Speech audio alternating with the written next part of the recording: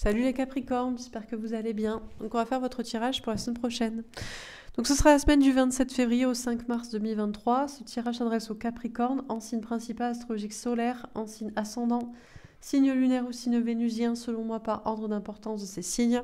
N'hésitez pas à regarder vos autres signes et n'oubliez pas que c'est une guidance générale de prendre uniquement ce qui résonne en vous et ce qui vous aide. La bougie est terminée, quelque chose qui se termine. Alors, qu'est-ce qu'on vous dit les Capricornes pour cette semaine? En amour, travail, vie sociale, vie spirituelle, je ferai un tirage supplémentaire sentimental. C'est parti.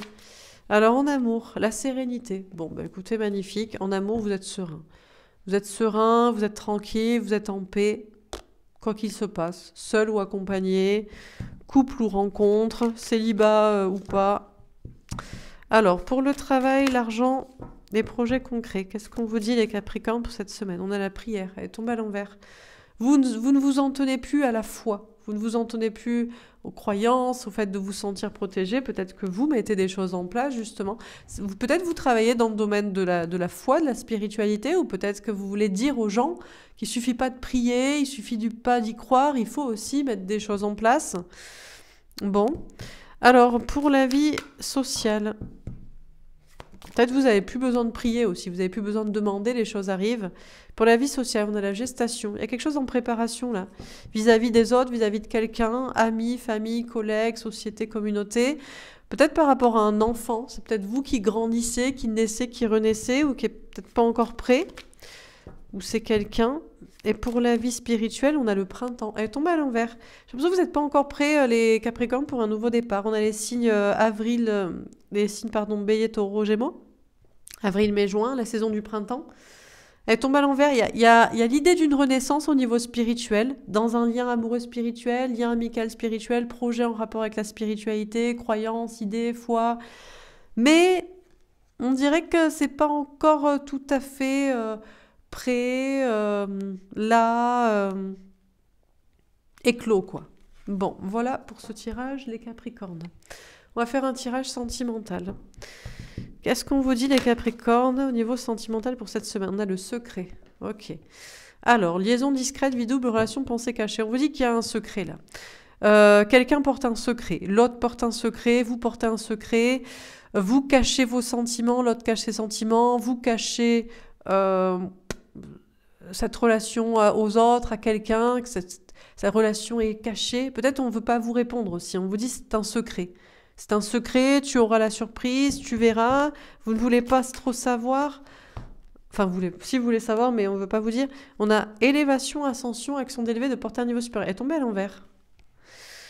Euh, c'est la fin d'une ascension spirituelle ou alors on ne veut pas vous dire si une ascension spirituelle vous mènera à quelque chose, à sortir d'un secret, à sortir d'une relation cachée?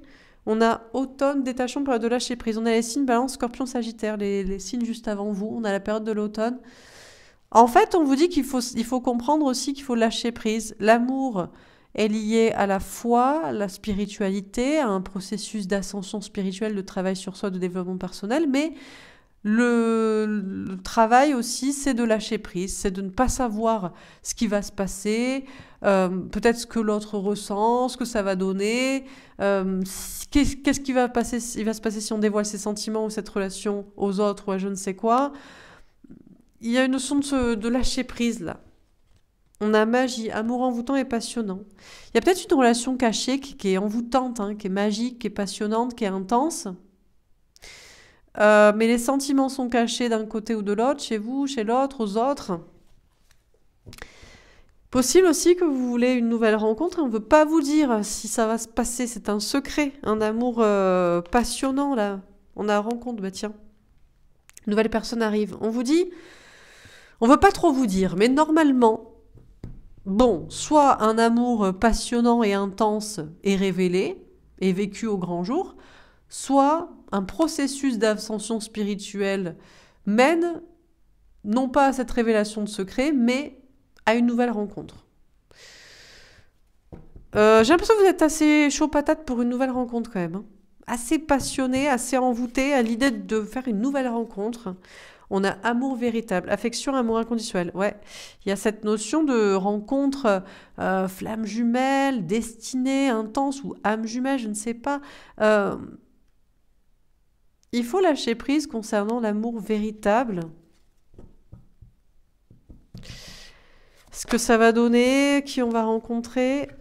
On a retour ex-partenaire. Euh, le secret, vous savez pas si, et on veut pas vous dire si y aura le retour de la personne que vous avez aimée, avec qui c'est envoûtant là. Est-ce que cette personne va revenir? Est-ce que vous devez revenir? Est-ce que vous devez accepter son retour? Est-ce que vous devez revenir au passé, remettre la tête là-dedans? On a un message envoyé. Ce qui est sûr, c'est que le message que vous devez envoyer à l'univers, à l'autre, pour une nouvelle rencontre, c'est je vous êtes prêt. Vous êtes prêt à la nouveauté, je pense, en amour. Voilà. Vous avez fait ce processus d'ascension. Vous le faites, vous continuez, vous le terminez. Il y a à la fois le passé, il y a le futur aussi. Revenir, partir. Vous avez envoyé peut-être un message à un, ex ou à une relation comme ça du passé ou quelqu'un que vous aimeriez que cette personne revienne vers vous et ou vous hésitez à le faire ou vous allez peut-être le faire. Amour éphémère, amour passager, flirt.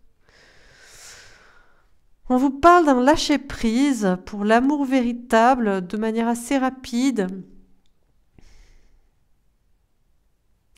Il y a des relations euh, éphémères.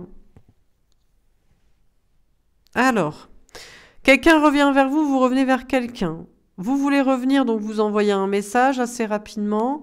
Cette personne revient, vous répondez. Ça donne quoi? Au centre, on a la rencontre. Il y a une nouvelle personne qui arrive dans votre vie, ou qui est déjà là, ou que vous souhaitez. Vous êtes déjà assez attiré par cette rencontre qui est là ou qui arrive.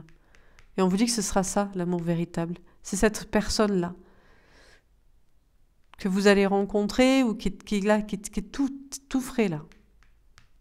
Visiblement, on a la passion et l'amour euh, inconditionnel, véritable. Voilà pour ce tirage les Capricornes. Je vais vous tirer une dernière carte de conseil.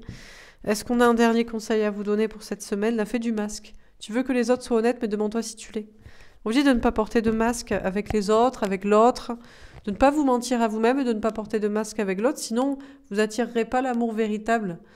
Euh, si vous êtes masqué, si vous mentez à, vous, à l'autre, aux autres. Voilà, donc soyez honnête. Demandez-vous si vous l'êtes. Voilà pour ce tirage, les Capricornes. J'espère que ça vous aura parlé, que ça vous aura aidé. N'hésitez pas à me faire un petit retour. Je vous souhaite une belle semaine. Je vous dis à bientôt. Au revoir.